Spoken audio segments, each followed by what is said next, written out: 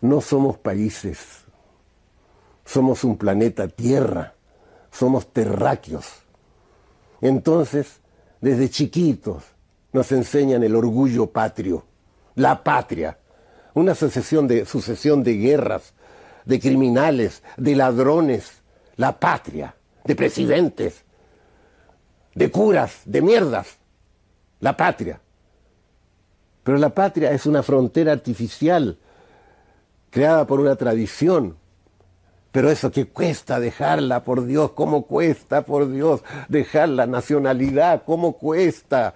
Porque nos agarra por el estómago, porque la mamá, la abuela, la familia nos da de comer la comida, la comida del país, la comida regional, las costumbres, el amor y, y estamos amarrados a un pequeño país, porque todos los países, sea, sea la China, sea Rusia, son pequeños. Los países son una galaxia, son los millones de estrellas, somos cósmicos. Entonces, ¿cómo quieres hablar de conciencia si tienes una nacionalidad? Eres un animalito en jaula. Sí, señores mexicanos, sí, señores chilenos, sí, señores franceses, sí, señores Corea del Norte, con tu pinche bomba atómica idiota.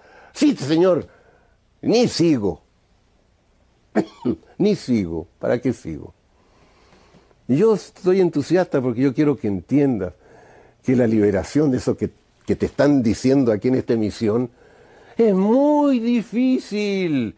Es el trabajo de toda una vida para hablarte así, echado 88 años para poderte hablar así.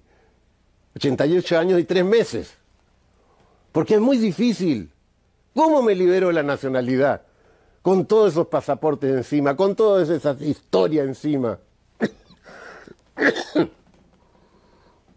Hay que liberarse de la nacionalidad, ser un ser terrestre, extraterrestre e intraterrestre. Porque habitamos no solo en el espacio, sino habitamos también en el interior de la materia, porque la vida no tiene tamaño. Tú, con tu vida, no tienes tamaño.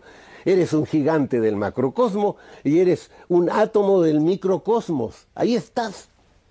Estamos llenos de microcosmos aquí. Y macrocosmos porque tenemos una especie de aura que se extiende al universo entero.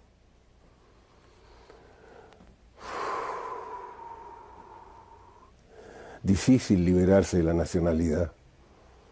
Oye, yo, estaba filmando en India, en esa tierra mágica, con eh, técnicos franceses. No se quisieron sentar con los hindúes, claro. Y después llegó la mamá de la maquillista con una bolsita donde había un queso camembert y una botella de boyolé, de vino y queso camembert. ¡Guau! Llegaron todos, cantaron la marsellesa y se comieron el queso y se bebieron el vino. Como la gran emoción. Ahí apareció la patria. En medio de todos esos monumentos no pudieron ver la India. Todas estas, los match de fútbol, por Dios, peleas de países, pero ¿hasta cuándo? Yo hago cine. ¿Tu cine qué es? ¿Es mexicano, es chileno, es francés? ¿Qué es? Pues mi cine es terrestre, a duras penas.